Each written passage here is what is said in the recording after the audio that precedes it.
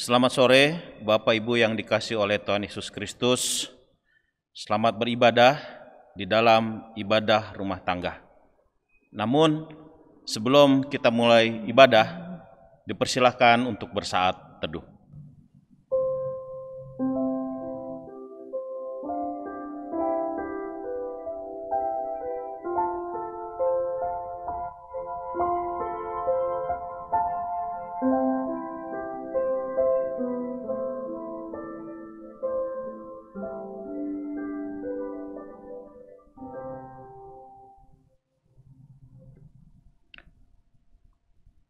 Kegelisahan hidup mewarnai perjalanan hidup umat Tuhan. Kegelisahan terjadi karena dosa serta pelanggaran yang dilakukan umat manusia terhadap Tuhan. Hari ini kita bersama memuji Tuhan dan menyembahnya. Jemaat undang bangkit berdiri.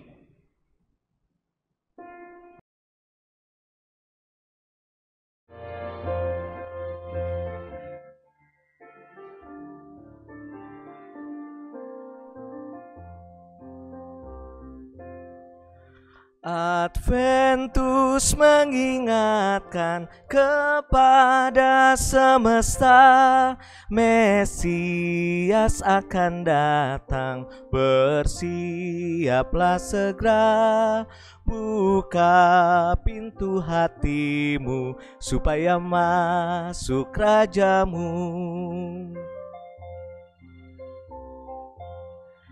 Yang jauh dari Tuhan, yang bengkok hatinya, yang lidahnya berdusta dan fasik lakunya, yang hidup dalam dosa, mari bertobatlah segera.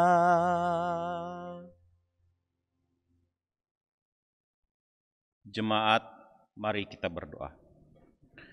Bapa kami yang ada di surga, Bapa yang kami kasihi di dalam nama Tuhan Yesus Kristus, terima kasih ya Bapa atas waktu ini, di mana di saat ini kami boleh beribadah dalam ibadah rumah tangga untuk memuji dan memuliakan namamu ya Bapa.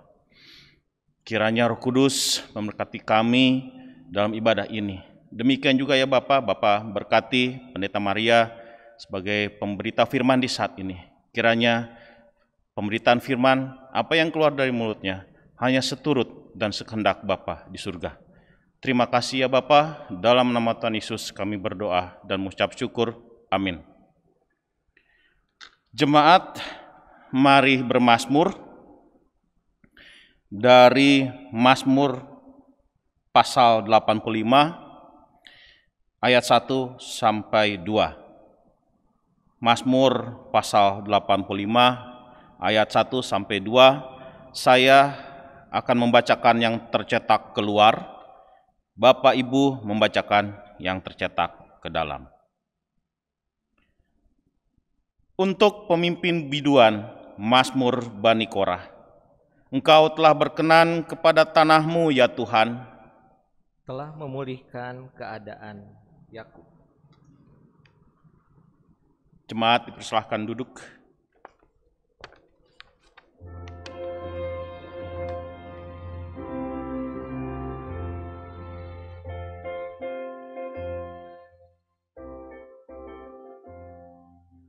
Mari menyembah Allah yang esa, agung dan besar selama-lamanya. Bapa Putra Roh Maha Kudus, kami datang sujud menyembah.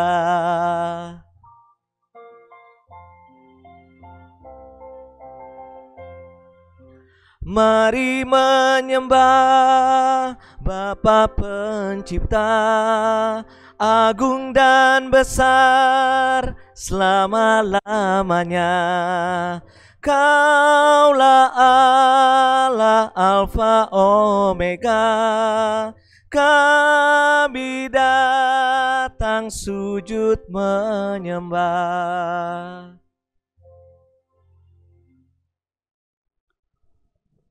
Bapak Ibu Saudara-saudara yang terkasih, mari kita bersatu hati dalam doa ketika Alkitab akan kita baca, kita mengimani bahwa Tuhan bersabda untuk kita. Mari berdoa. Diamkanlah semua suara dalam hati kami ya Tuhan.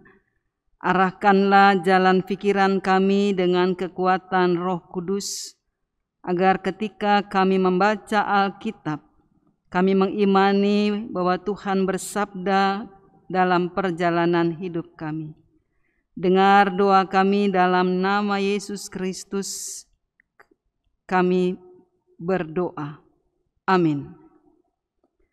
Bapak Ibu Saudara-saudara yang kekasih, mari berdiri untuk kita mendengar firman Tuhan yang dibacakan dari Alkitab dalam kitab Injil Markus pasal 1 ayat 29 sampai dengan ayat 34 dengan judul Yesus menyembuhkan ibu mertua Petrus dan orang-orang lain. Sekeluarnya dari rumah ibadat itu, Yesus dengan Yakobus dan Yohanes pergi ke rumah Simon dan Andreas. Ibu mertua Simon terbaring karena sakit demam. Mereka segera memberitahukan keadaannya kepada Yesus. Ia pergi ke tempat perempuan itu dan sambil memegang tangannya ia membangunkan dia lalu lenyaplah demamnya. Kemudian perempuan itu melayani mereka. Menjelang malam, sesudah matahari terbenam, dibawalah kepada Yesus semua orang yang menderita sakit dan yang kerasukan setan. Maka berkerumunlah seluruh penduduk kota itu di depan pintu. Ia menyembuhkan banyak orang yang menderita bermacam-macam penyakit dan mengusir banyak setan. Ia tidak memperbolehkan setan-setan itu berbicara, sebab mereka mengenal Dia. Demikian pembacaan Alkitab. Berbahagialah semua orang yang mendengar firman Tuhan dan melakukannya. Terpujilah Tuhan Yesus, Maranatha. Maranatha, Maranatha, Maranatha.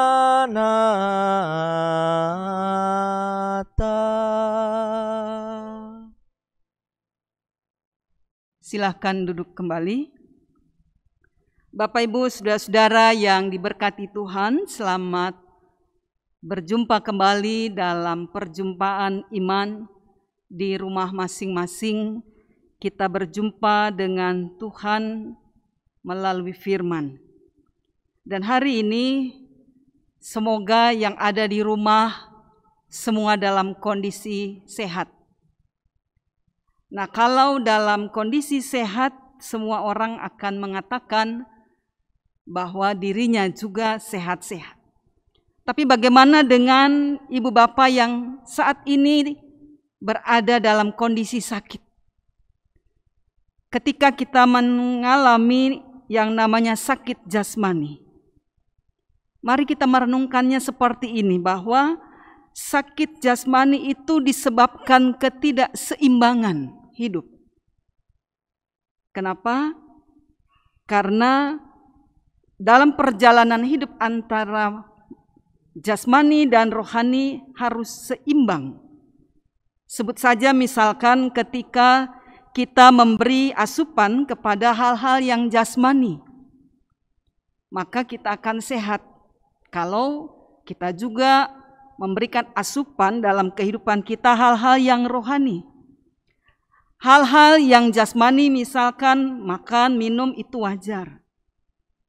Bapak Ibu Saudara-saudara yang kekasih, akan berbahaya ketika kita tidak menerima asupan yang seimbang.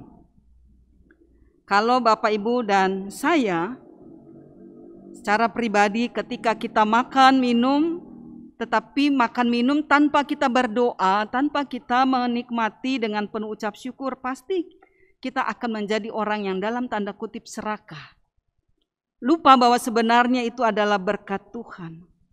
Nah, orang kalau sudah dalam kondisi sakit jasmani, sebut saja misalkan sakit gigi. Kalau orang sakit gigi, pasti dia tidak akan mau mendengar percakapan banyak orang, bahkan mudah tersulut emosinya. Ya, jadi artinya faktor kejiwaan sangat mempengaruhi ketika seseorang sedang dalam kondisi sakit.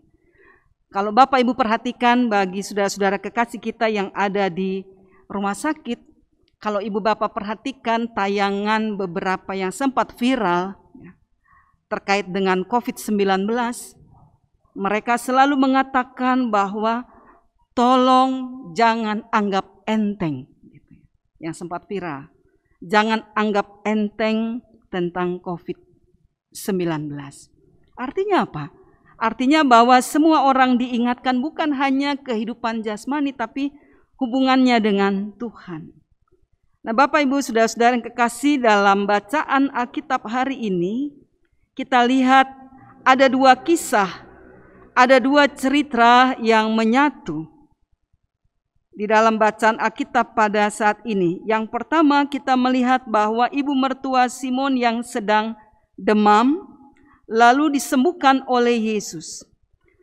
Catatan yang kedua adalah di dalam bacaan ayatnya yang ke-34 ia menyembuhkan banyak orang yang menderita bermacam-macam penyakit dan mengusir banyak setan banyak setan.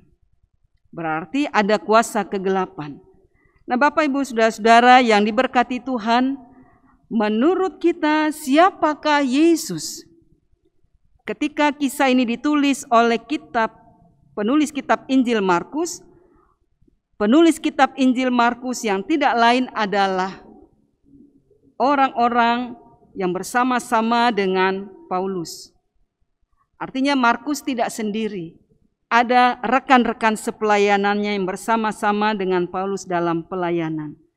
Nah, Markus di sini menuliskan catatan penting dalam karyanya bahwa Yesus adalah tabib yang berkuasa atas kuasa kegelapan bahkan penyakit sekalipun.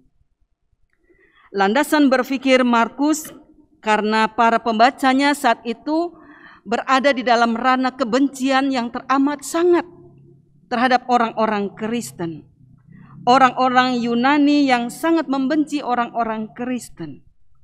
Sehingga dalam catatan ini disampaikan dalam kisah yang ditulis oleh penulis kitab Injil Markus bahwa Yesus itu bukan hanya sosok manusia biasa tetapi dia adalah sosok pribadi Allah yang hidup dalam sejarah manusia. Itu menurut Markus. Nah, menurut kita Bapak Ibu Saudara-saudara, siapakah Yesus? Siapakah Yesus? Kalau pada zamannya orang beranggapan bahwa Yesus adalah anak tukang kayu, ya. Pasti dia ikut seperti orang tuanya yaitu Yusuf. Tetapi mari kita memahami sekarang ini bahwa justru banyak orang datang berbondong-bondong berjumpa dengan Yesus karena apa? karena pengajaran Yesus yang membawa kesejukan. Tolong ibu bapak perhatikan ayat 22.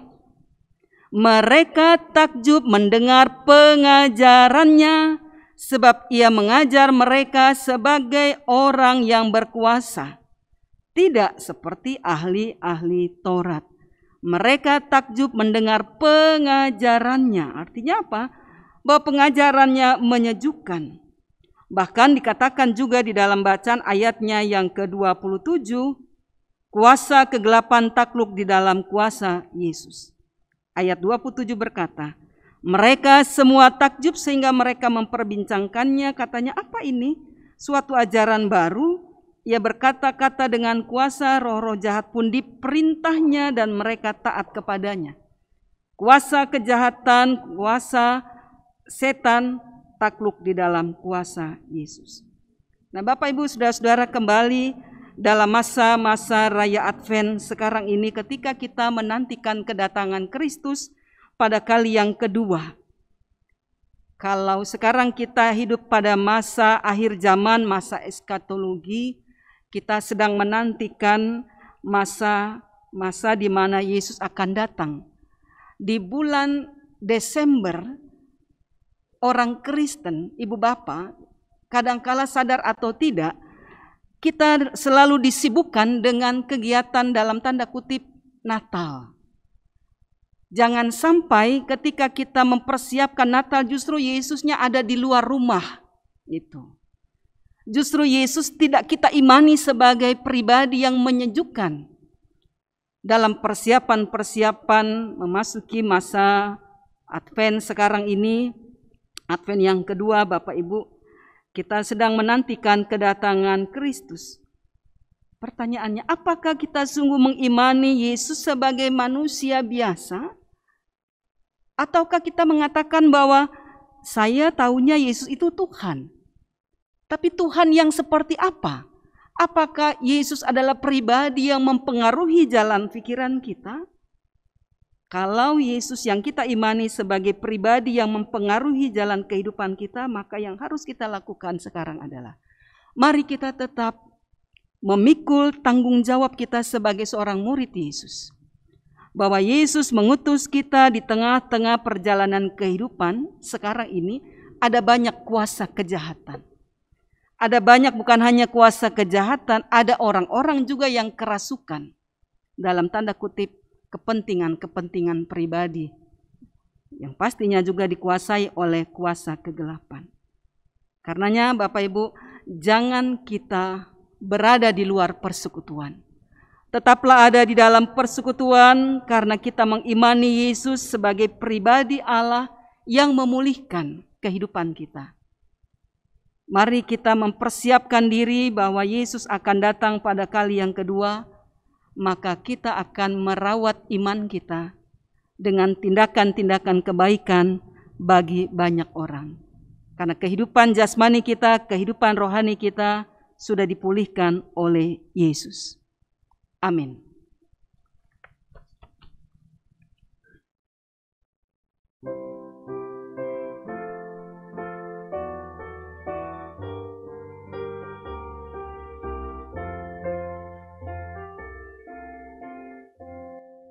Siapa yang berpegang pada sabda Tuhan dan setia mematuhinya, hidupnya mulia dalam cahaya baka bersekutu dengan Tuhannya. Percayalah dan pegang sabdanya hidupmu dalam Yesus sungguh bahagia. Bayang-bayang gelap kan dihapus lenyap oleh sinar senyum wajahnya Rasa takut dan syak kan menghilang cepat Dari yang berpegang padanya.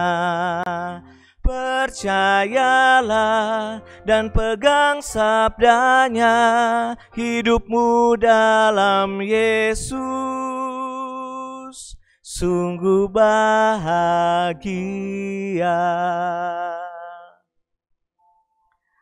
Mari kita berdoa. Hari ini ya Tuhan kami mengucapkan terima kasih untuk kebaikan yang boleh kami nikmati sampai hari ini di mana Tuhan selalu ingatkan kami bahwa kami tetap berada dalam persekutuan umat yang telah mengalami pemulihan.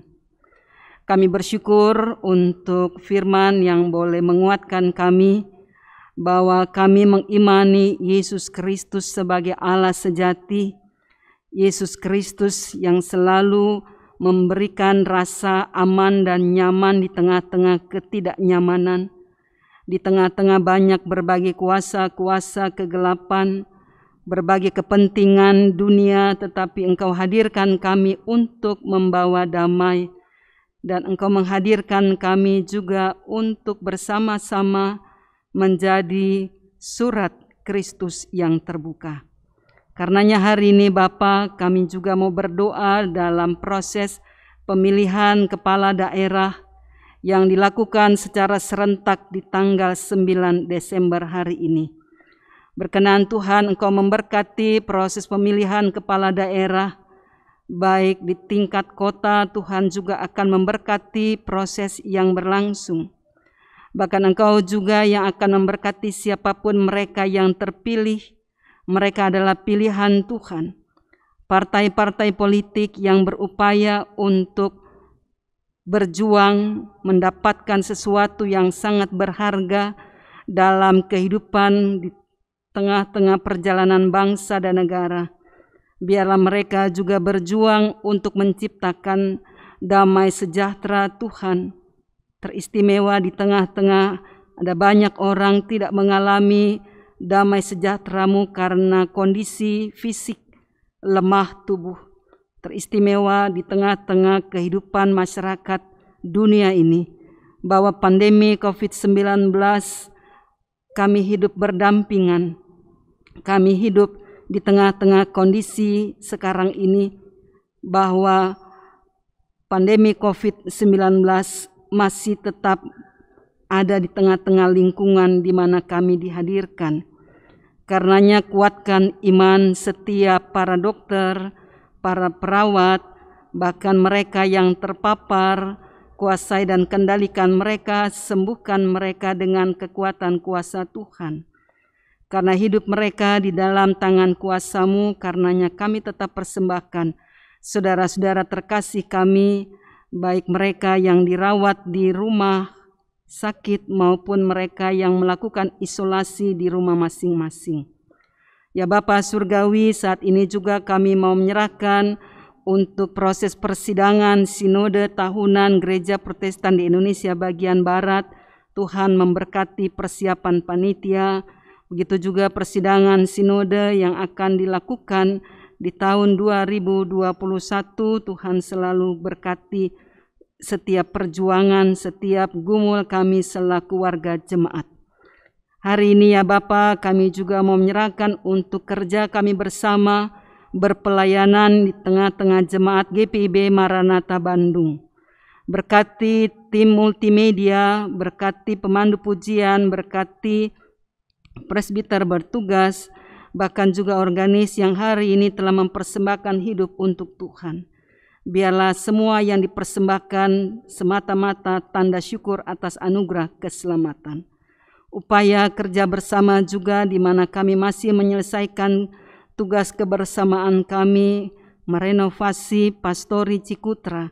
Terima kasih kami masih diberi kepercayaan untuk melakukan tugas itu Biarlah Tuhan juga dengan kemampuan yang dari Tuhan menolong kami untuk kami memberikan kontribusi yang terbaik, sehingga nama Tuhan dipermuliakan lewat kami semua selaku gerejamu. Terima kasih Bapa, kami persembahkan semua rencana-rencana kami di dalam memasuki masa raya Advent yang kedua hari ini. Kuatkan iman kami, perteguh harapan kami. Dalam nama Yesus Kristus yang telah mengajar kami berdoa bersama. Bapa kami yang di surga, dikuduskan namamu, datanglah kerajaanmu, jadilah kehendakmu di bumi seperti di surga. Berikanlah kami pada hari ini makanan kami yang secukupnya, dan ampunilah kami atas segala kesalahan kami, seperti kami sudah mengampuni orang yang bersalah kepada kami dan jangan bawa kami dalam pencobaan, tapi lepaskan kami dari segala yang jahat. Karena Engkaulah yang empunya kerajaan dan kuasa dan kemuliaan sampai selama-lamanya. Amin.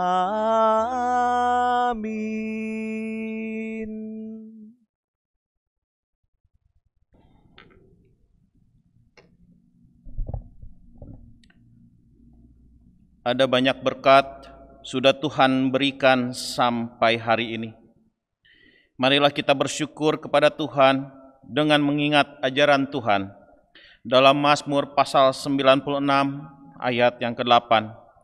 Berilah kepada Tuhan kemuliaan namanya, bawalah persembahan dan masuklah ke pelatarannya.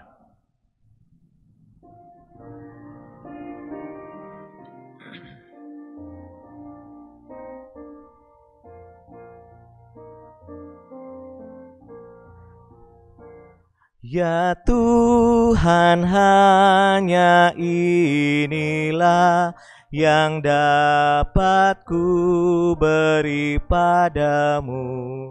Ungkapan syukur apalah dibanding berkat karuniamu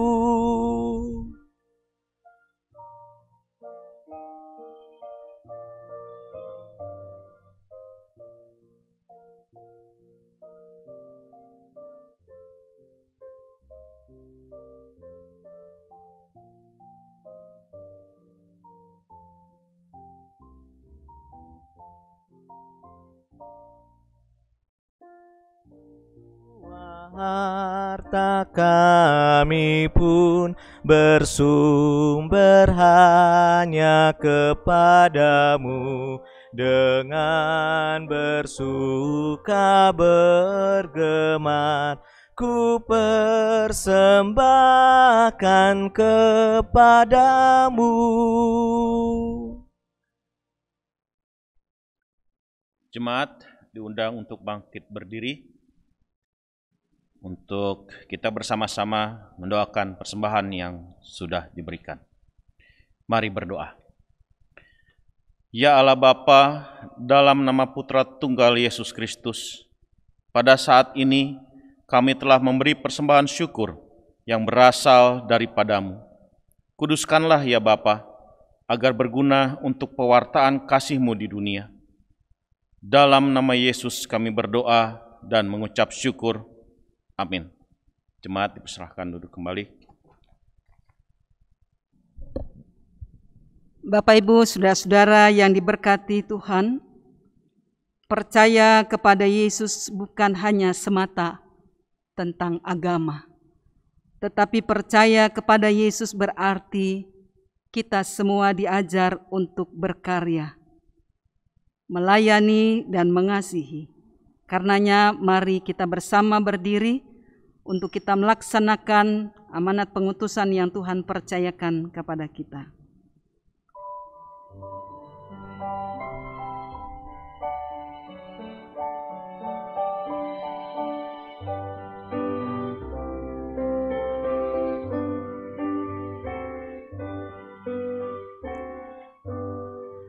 Ya Tuhan tiap jam ku memerlukanmu.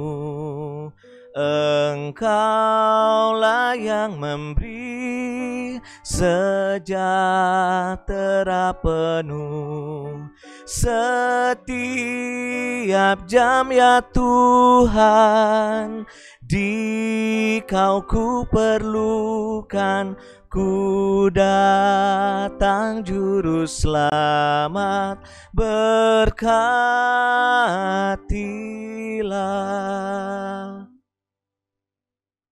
Bapak Ibu saudara-saudara yang diberkati Tuhan, sekarang angkatlah hati, arahkan pikiran saudara kepada Tuhan dan terimalah berkat Tuhan. Dan Allah sumber segala kasih karunia, yang telah memanggil kamu dalam Kristus pada kemuliaannya yang kekal, akan melengkapi, meneguhkan, menguatkan, dan mengokohkan kamu sesudah kamu menderita seketika lamanya.